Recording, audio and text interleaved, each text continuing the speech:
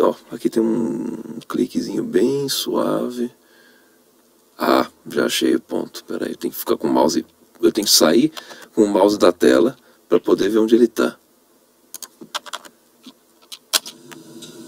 Ó, de novo o dimmer. Eu estou chamando de dimmer, mas é que o ruído é igual, né? É, não, é o metal. Eu acho que pode ter ser o metal, só que assim, tem o metal no, uh, no teto. Uhum. E é por incrível que pareça, é acima do experimento. É exatamente onde o dimmer está, exatamente onde ocorre o experimento na sua densidade. Ou seja, acima dele. Tá. Aqui tá passando a moto aí. E a coisa instalando, mas a moto não tem como ativar isso. Não. Super dimmer ativar aí não dá. É, não, não. Aqui, aqui tem uma buzininha. Até botei a marca para o povo perceber o que, que é a diferença das coisas. Você vê todas as, as, as, frequências de harmônicos e ressonâncias da buzininha, olha lá.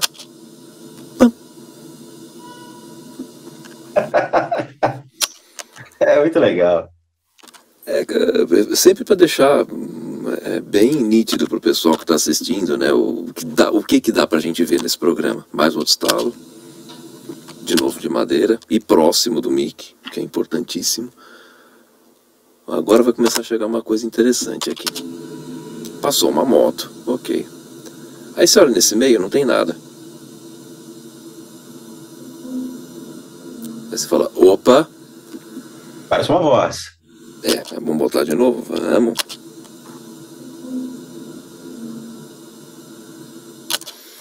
Aí não contente, a pessoa já deixou aqui a marca para seleção. E bora nos procedimentos. Dialog é Isolate. Voice. Sai da é voice. É.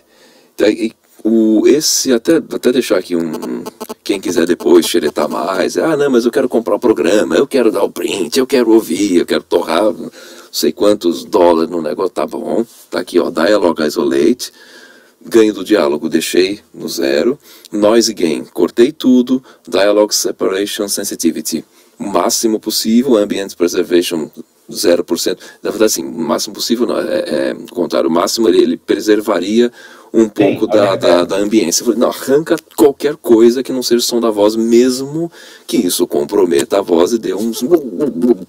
que seja. Uh, separation Algorithm Joint Channel, que é o mais é, puxado, que mais exige, da CPU. É mesmo, você vê que mesmo sendo um. Ou falar, opa, mesmo sendo um iMac, ele achou coisas, ele, ele sobra aqui para ele, ele sofre para puxar. Vamos botar um normalize, aumentar o volume dessa coisa ao máximo possível? Vamos.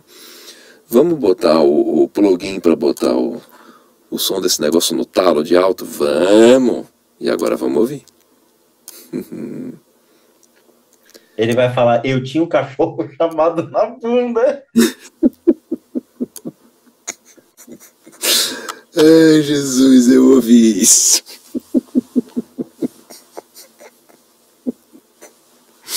Ai, ai, ai.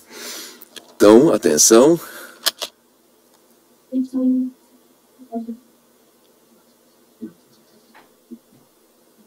Sim, você ouve uma mulher e um homem falando. Sério? Eu vou passar um outro processador aqui que pode dar mais volume ainda para a gente escutar mais o que está escondido. Assim, de tudo que tem de, de, de curioso nessa gravação, eu posso separar em, em três blocos. Esse, os bumps que agora estão muito mais definidos, né? aquela coisa, você está pegando a manhã de trabalhar com esse microfone, o gravador, e eu também já entendendo como fazer um procedimento padrão aqui para poder puxar os sons ao máximo para frente, então a gente está conseguindo identificar melhor a natureza dos bumps, que é o, é o clique do, do, do dimmer ou algo semelhante, ou seja, uma coisa de metal, um de madeira e alguma outra coisa, e aquele negócio raspado, arrastado, que só aconteceu naquele trecho e que a gente nunca ouviu nada parecido. Tá, aquilo, aquilo é a novidade, os bumps estão continuam na liderança como o que tem de mais definido, e esse aqui é a cerejinha do, do bolo, né? Deixa eu pegar aqui o. Peraí, plugin. Plugin. Vou colocar um outro maximizer da Isotop. Cadê? Isotope. Uh, isotope ozone. Maximizer lá embaixo. É, mas não era. Será que Não, eu... não, não. Você pega o isotope, aí tem o Maximizer que fica lá embaixo. É, mas é do. é- Não era do ozone. Era, era- tava, tava pegando errado, era esse aqui. Ozone Maximizer. Eu queria esse ozone hoje, porque o outro era o ozone 6. O 6 não é tão legal. Uma versão mais antiga. Vamos botar um algoritmo melhor que a gente tem. Character, vamos botar um character mais lento. Preservação máxima de ênfase nos transientes. Botar aqui um ponto 1 para não distorcer, true peak e sensibilidade 20 dB. O que tiver aqui vai vir. Vou até chamar esse esse preset aqui, De fantasma do Spook. né? É, mas é, mas vou, vai ser algo assim mesmo, é, peraí. Add preset. Ali. Spook Maximizer Talo. Alô. Isso, pronto, agora a coisa veio. Atenção, vou botar em loop.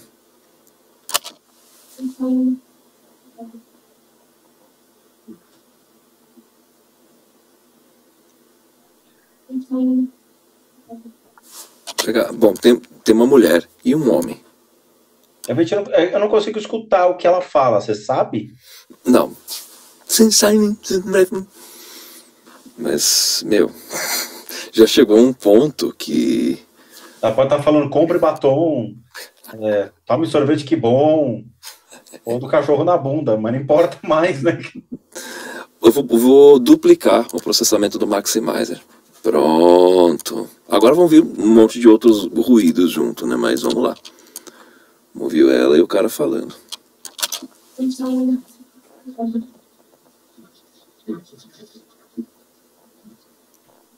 Cara, O que, que é isso? Não faço ideia. Mas é alguma coisa tá aí.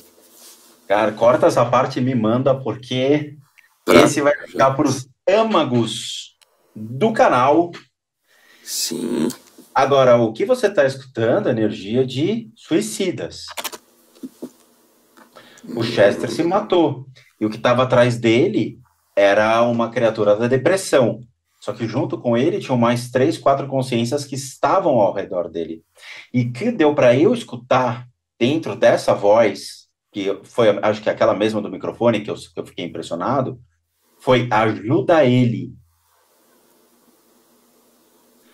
Se você jogar ajuda ele sobre essa voz da mulher que você está escutando direito, dá a entender que alguma coisa desse tipo?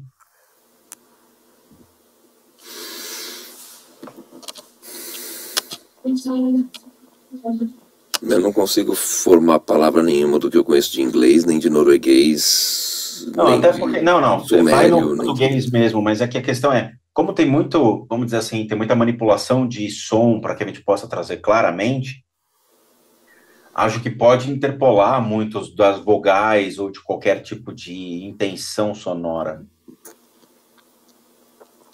Se eu fosse tentar entender alguma coisa, mas aí é aquela história, que nem aquele exercício que você tenta ver um rosto numa, numa mancha. eu Sim, entenderia mas a como vai send silence, É. mas não faz sentido send silence. Tipo, Não, não, não. É, é só em português. Pega português. Aí eu não, em português eu não consigo entender nada do que tu tá falando aí.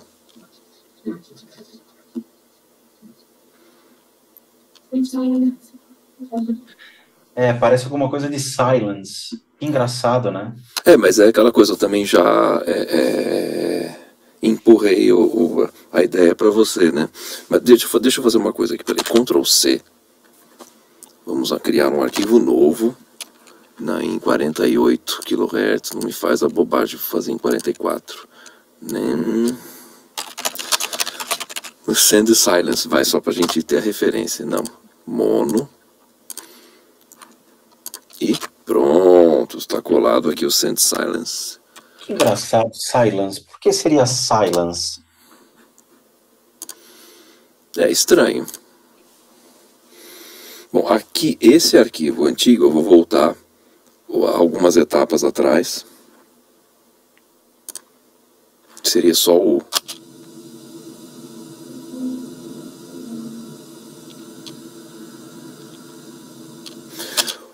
mais interessante da gente ver aqui é a voz dela. A, vo a voz dele pode ser bom. Você quer ficar bem arrepiado? Cara, não vou dizer arrepiado, mas é levantou, um, ficou uma ciranda de interrogações girando em, Olha em seu volta da minha WhatsApp. cabeça. Hum? Olha o seu WhatsApp. Hum. Deixa eu ver o que, que você mandou aqui. Hum.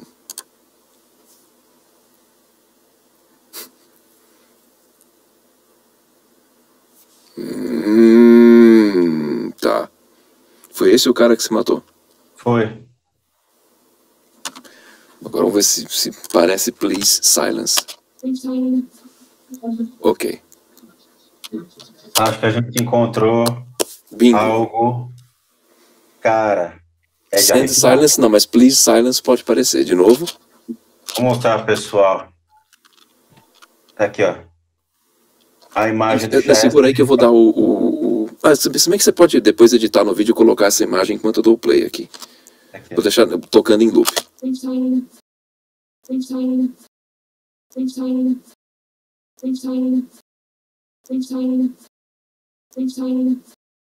Sério, de arrepiar, hein, cara. É. E agora? Bate, né? Muito, Faz- muito, muito, muito. Faz muito sentido. E tem várias imagens dele com essa frase na internet. Eu não conhecia, eu escrevi Silence Chester. Foi a única coisa que eu usei como mecanismo de busca. Para ver se ele tinha alguma música relacionada a Silence ou se tinha alguma frase com relação a isso. Tem várias frases com relação a isso. Tá. Chama Chester Fields of Silence. Tem coisas estranhas dele, eu não sei. Hum, Momentos de silêncio, a moment of silence. vamos botar play de novo nisso.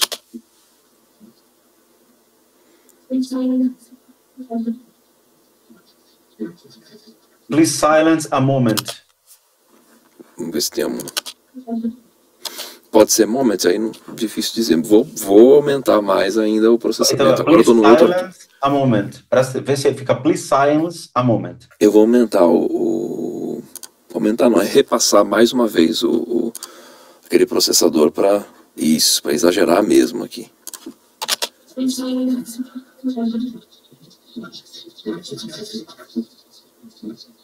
Essa sujeira que vem depois é ininteligível. Agora, esse começo pode ser Please Silence a Moment.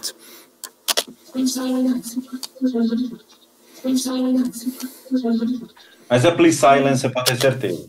É, é, vamos lá, só no, isolar só o Please Silence.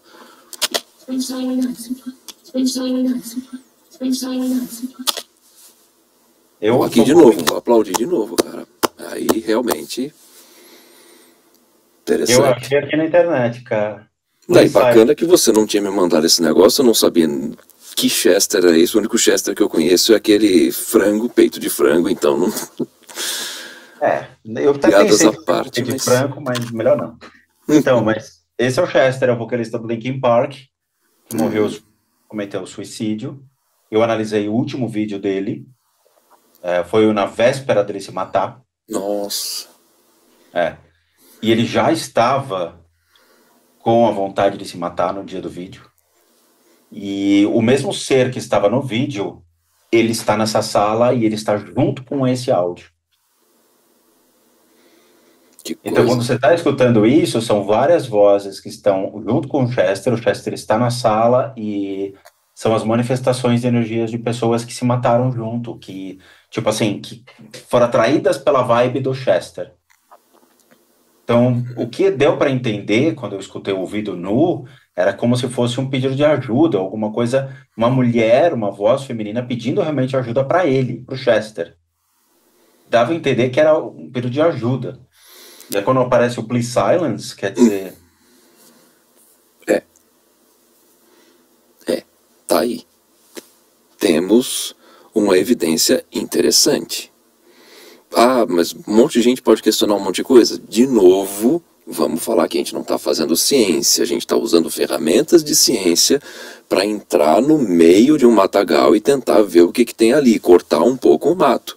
A gente não vai chegar no fim da, da conclusão da coisa, mas alguém tem que abrir caminho. Então, é para é, isso que a gente está aqui. É aquilo que a gente fala, os microfones estão chegando muito perto. Uhum. Muito perto. E olha, são microfones básicos, sério. Não uhum. tem nenhum ali que seja tão. É isso que você falou, não, não é um Neumann, não é os, os Eldburg aí que você tem que custa uma fábula. Imagina se eu tivesse um microfone desse. Deixa eu te falar uma curiosidade: o Erlund custa menos que o Neumann. Então, é que eu não é tenho superior. acesso, né? Sim, é. sim. Eu, eu não vejo a hora de poder ter acesso a isso e um dia a gente fazer uma, uma brincadeira aqui no estúdio desse tipo, assim, tipo, brincadeira, né? Enfim, vamos fazer o experimento, só que com. Eu quero estar com os cabos Vandenhoel, pelo menos um cabo Vandenhoel, que isso daí é, é cabo de grife, ok. Só que, para explicar um pouco para o povo qual é o nível de paranoia. Vandenhoel é o sobrenome de um engenheiro químico que trabalhou para a Agência Espacial Europeia. Ele é especialista em redimensionamento molecular. Ele fez uma liga de material nesses cabos que ele desenvolveu que a molécula é estendida, então tem menos molécula por metro para ter menos perda de elétron, para ter menos, menos ruído.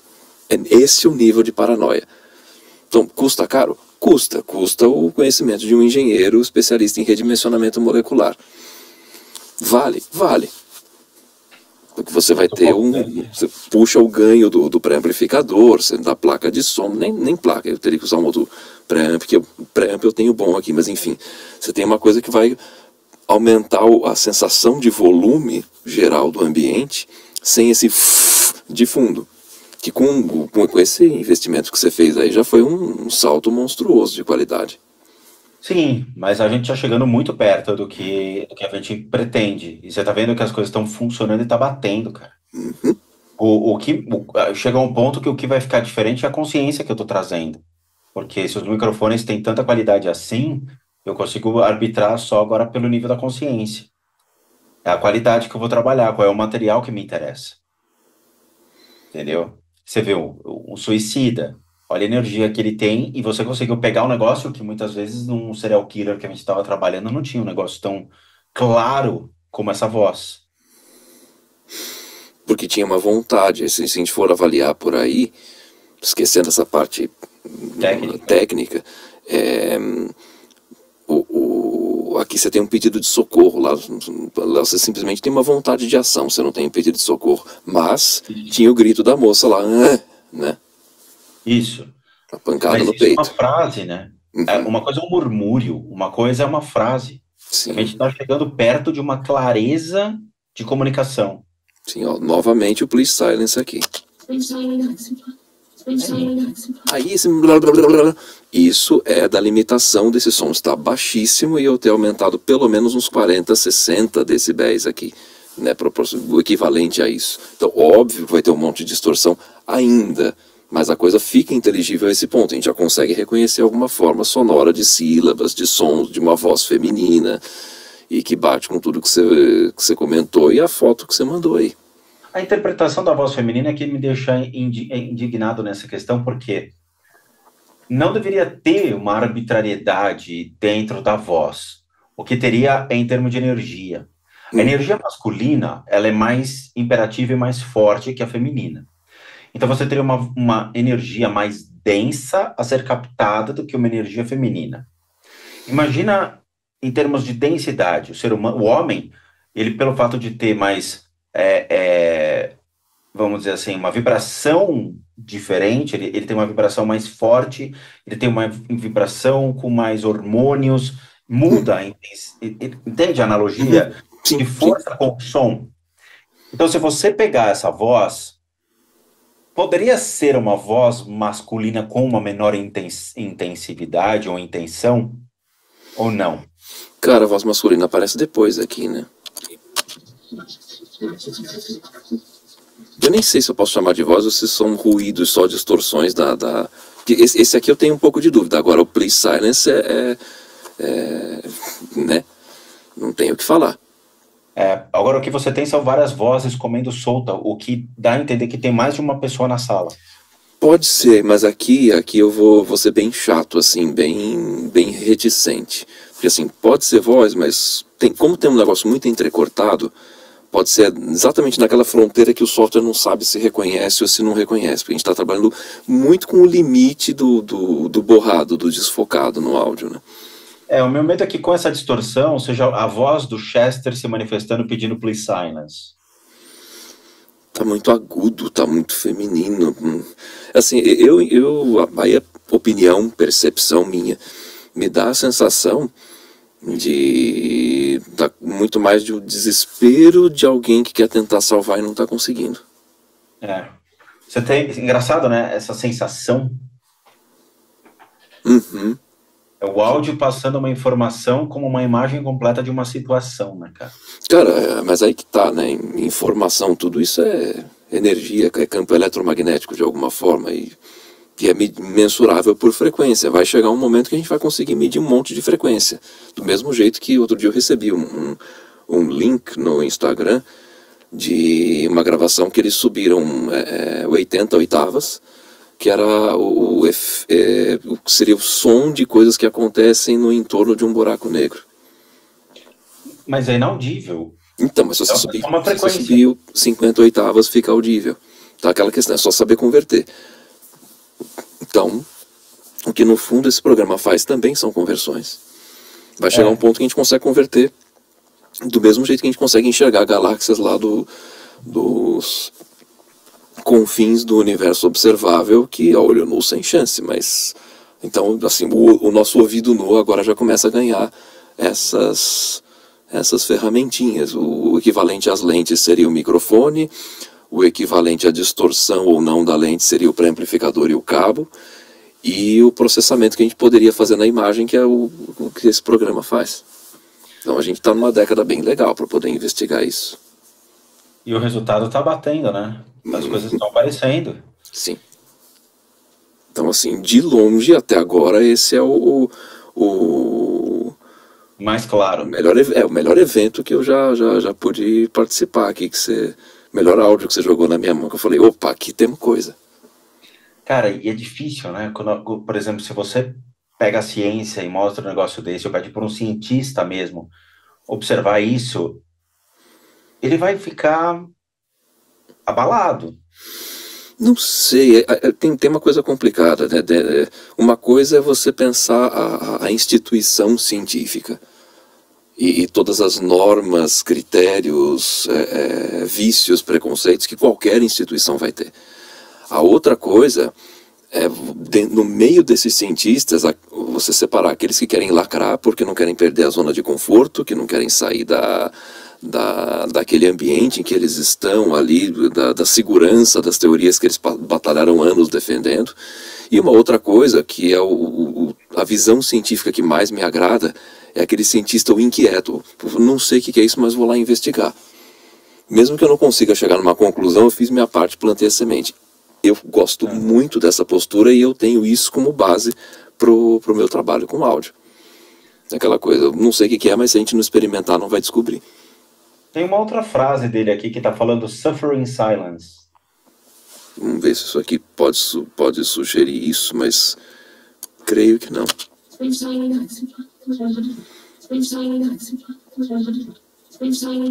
Não, não. Ele fala suffering silence, que é sofrer em silêncio. Só se ele falasse muito rápido, suffering silence, mas tá mais para play silence. Porque É para o nosso ouvido, o please ele, ele é mais. É, não é nem para ouvido, é para nossa capacidade associativa. É, é, é, bem aquela história de tentar achar um rosto numa mancha, né? Se a mancha está é. muito confusa, fica difícil. Aqui não está tão confuso assim. É, esse é o, o, ponto de avanço que, que me agradou bastante nesse, nesse áudio aqui. É. Isso, isso é alguma coisa, fato. Quem vai para determinar são as pessoas que mais conheciam ele e podem dizer se realmente isso é factível ou não. Uhum. Eu não conhecia a vida do cara, entendeu? É, eu não sei se ele já fazia apelos antes de se matar, se ele já tinha é, essa questão de falar sobre esse tipo de coisa. Uhum. Então, se alguém escutou uma frase dele desse tipo, vai bater o ouvido. Sim, então... seria interessante fazer isso chegar a, a, pessoas que conheçam, que tenham conhecido ele, né? É. Próximas. Possível agora já é. Não que a gente tenha realmente os recursos à mão, mas como comentei, a gente está numa época que agora as coisas são mais aproximáveis, mais mensuráveis, a gente começa se a gente não tem o tirateima, a gente pelo menos começa a ter a possibilidade de construir um tirateima, isso é muito bom. É. Tem mais coisa que se encontrou ou se daí foi o último? Não, nesse nível, realmente, terminou aqui, assim. E é, aí depois, lógico, tem mais umas outras coisinhas aqui, eu não lembro exatamente, mas... chamou a atenção mesmo foi só esse daí. É porque esse é uma coisa muito fora do normal. Aí, aí vem um bump grave, eu acho que só tinha tido um até então. Hum. Isso aqui é um caminhão, a gente vê que é bem diferente de uma moto.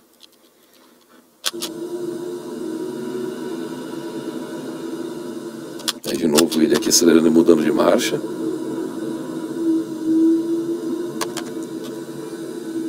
Ou um ônibus, sei lá. Algum veículo grande.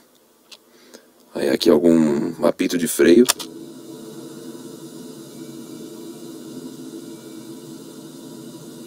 De novo. É que as coisas são muito nítidas, né? E como você fala, como essa voz, essas coisas trabalham num nível muito sutil, a gente tá, realmente está arrancando o negócio que está lá no, nos confins, nos porões. Com certeza, microfones de última geração, cabos de última geração, pré-amplificadores, uma sala absurdamente isolada, anecoica, com aquelas um metro de espuma, vai fazer diferença? Vai, mas quem que, quem que ajuda a financiar a coisa, né? Ninguém. Pedir todo mundo pede, sério. Brincadeira é. dessa custa 10 pau. Para ficar um dia fazendo um teste desse tipo, quem pra é que mais, paga? Pra mais, viu? É? Ninguém paga. É, moto de novo, mudando de marcha.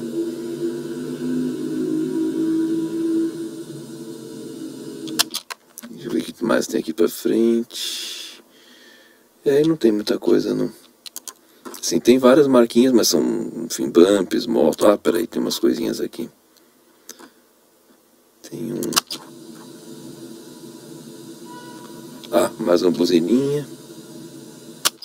É. Aí no final já voltei. Peraí, deixa eu pegar aqui do. No fim tem uma última moto. É. Não, é isso. A gente fecha com, com isso como grande. É, aqui no fim agora vi um, umas bolinhas, mas não deve ser nada, não. É, não é só isso aqui mesmo, é. Só mais. É mais uma moto. Nada, e essas bolinhas? Aí. Uma buzina muito ao longe. Se eu aumentar, aí a gente vê que a buzina. Quer ver? Vou aumentar aqui um trecho maior. A gente vê que é uma buzininha mesmo.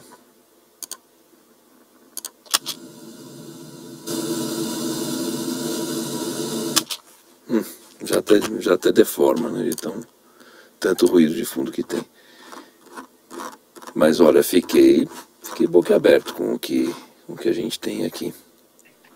É, eu tenho mais um aqui que você vai gostar, que também foi muito nessa linha, e tem frases que eu consegui escutar com o ouvido nu. Hum. É, eu gravei ontem esse EVP, que é do Ed Gein, que é o cara que foi o, a inspiração para o filme Massacre da Serra Elétrica tá? Não vou te pedir para você nem falar mais coisa, e eu tenho que me controlar para não revirar a coisa, porque é aquela história, eu quero ouvir com o ouvido des... É, é, assim, agora, agora já, já, já tô um, não, não, tanto não, quanto movido. Mas... É, um ser, é um assassino. Tá. tá? E esquece o filme. Hum, ele não, eu não vi o filme, filme também, então... É, o filme foi uma inspiração banal na vida do cara. Mas o cara, ele teve um pico que depois eu vou te contar o que aconteceu, que você vai falar, cara, não acredito que eu tô escutando o áudio de um cara que fez isso em vida. Uhum. Tá? Ele chega muito pau a pau com esse áudio daí do Chester. Bom, se você falou conseguiu ouvir mesmo com o ruído de fundo, então a hora que eu passar o negócio que limpa, que, que limpa vai ficar melhor do que isso aqui. Cara, eu pulava na cadeira. E, e tem uns sons assim que você fala, cara, é coisa de cinema, porque você escuta o bu. Ele no microfone ele fala bu, como se ele estivesse brin brincando comigo. Hum. Entendeu? É, Tipo uma, assim, é uma outra energia, não é um pedido de socorro, né? É uma ameaça, uma outra coisa. Não, ele estava sendo irônico, ele estava sendo sa- sarcástico comigo. Hum, Então, você vai escutar o bu. Ele faz isso no microfone. tá. Bom, Olha que louco. É, é uma outra ideia, mas a gente consegue documentar todo tipo de consciência que a gente está trabalhando, desde um assassino até um cara que cometeu um suicídio.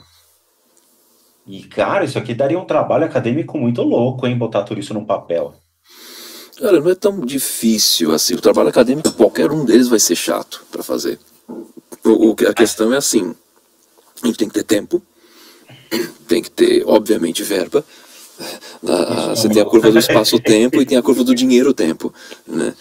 E estômago, né? Para aguentar a chatice dos outros, porque. É, isso, é- isso é o de menos. Isso é aquela história. O, o mais, o mais chato é você montar um esquema de roteiro que permita que a experiência seja mensurável por todos os testes cegos possíveis. Por exemplo, para mim foi muito legal você me mostrar só agora a história do Please Silence. Não, eu não sabia. Eu ta- eu estava falando com você procurando na internet a associação com a palavra silence. Uhum. E aí eu achei essa imagem dele do Please Silence. Sim, eu tava achando que era Send Silence, tudo bem, parece também Please Silence. Esse é o tipo de, de, de estudo bacana que a gente deve é, é, procurar. Então, assim, quando você mandar. Tudo bem, esse daí do cara do massacre da Serra Elétrica e tal. Mas assim, se for mandar algum outro áudio, é até legal que você não me dê a referência. Falar, isso daqui é só, sei lá, caso de um assassino, um suicídio, ou sei lá, um X. E X. Não saber de quem se trata, porque aí é até mais interessante a gente deixar esse, esse, essa dúvida pairando enquanto vai investigando. Porque como você está com material melhor para poder é, fazer a captação, então as coisas vão começar a aparecer, né?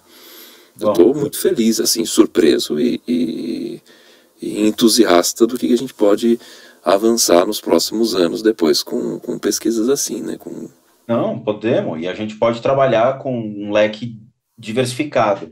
Você pode falar, eu quero desde um orfanato até o caso mais esdrúxulo que você já viu.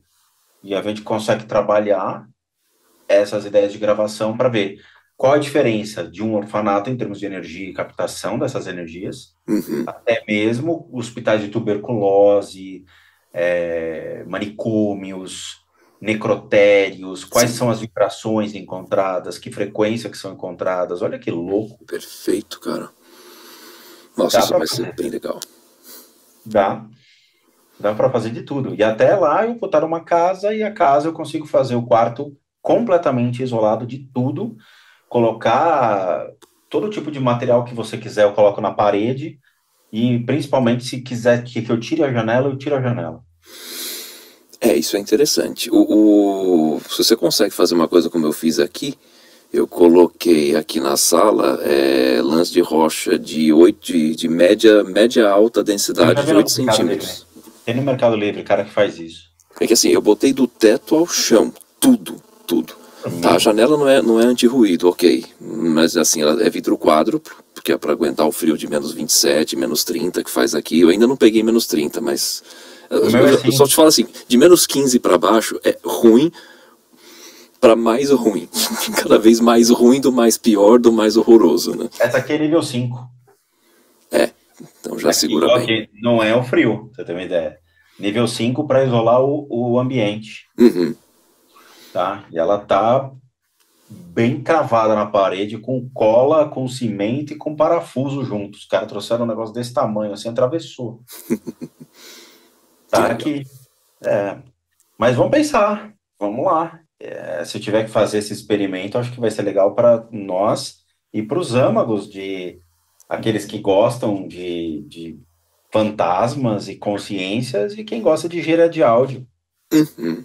É, e principalmente quem, quem quer a diferença entre o que é o pesquisar a realidade bem distante dos Rayleigh de, os lá de Hollywood, né? Spirit Bosque. Spirit Isso. Que fala com o espírito. Olha que diferença nessa. Uhum. E os caras ficam falando lá. Eu juro, eu só vou passar a acreditar no radinho quando ele falar teu cu, seu bosta. Aí sim, eu vou falar, esse aí sabe. É, o que fala, é o Neil deGrasse que fala, né? Assim, é, é, grandes revelações vão precisar de grandes evidências. Alguma coisa Não. assim que ele fala. Então é Eu isso, assim. Eu estava vendo um esses dias, que era um desses pesquisadores com o radinho nos lugares. Aí ele fala, tem alguém aqui? Aí ele fala, seu cuzão. Eu falei, agora eu passo a acreditar no radinho. Ele descobriu quem é você. Ele, nossa, o espírito tá me xingando. Falei, é porque te conhece, cara. Daí aquele do. Aquela coisa que você fala do videogame também, né? Mas ele é um, é um sensor de calor, gente, menos, né? Não tem como. É, tem gente que fala, ah, por que que você não bota sensor de calor na sala? Porque os móveis vão absorver temperatura, gente. Não tem esse negócio, uma hora essa temperatura vai esvairir. Mas que adianta você saber que o móvel está numa temperatura X e um lugar onde não tem móvel Y? Porque é- é- eu tô falando isso. Você não precisa de comprovação de um termômetro. Uhum. Tapete no chão vai fazer com que fique mais quente. Porra, Né, assim, tem um tapete no chão, aí tem uma câmera mostrando, é, o tapete realmente tá no chão, então tá bom. tá lá. Entendeu? É, Quando a gente mas erra a eu- equação, né, na sexta série, descobre que x é igual a x. É. Tá. Você sabe que em Portugal já acharam o valor de X e acabou, né? Lá vem a piada. Portugueses já acharam o valor de X. Então, porra, vocês estão procurando? Já achamos, na quarta série, acabou, mandou história. Várias vezes, inclusive, né? Vamos procurar o valor de outra, outra incógnita. Os caras estão no alfabeto inteirinho. O valor de... do W, Y. Depois que acabar o alfabeto complicado, né? Ah, ele bota o 2, né? Aí vai chegar o Klingon, o alfabeto dos Klingons. Sumério, né? Tem 800 caracteres. Cuidado, hein, que esse alfabeto pode trazer maldições pro pessoal. Aí o X amaldiçoado. É, depende de como você tá usando, sim, né?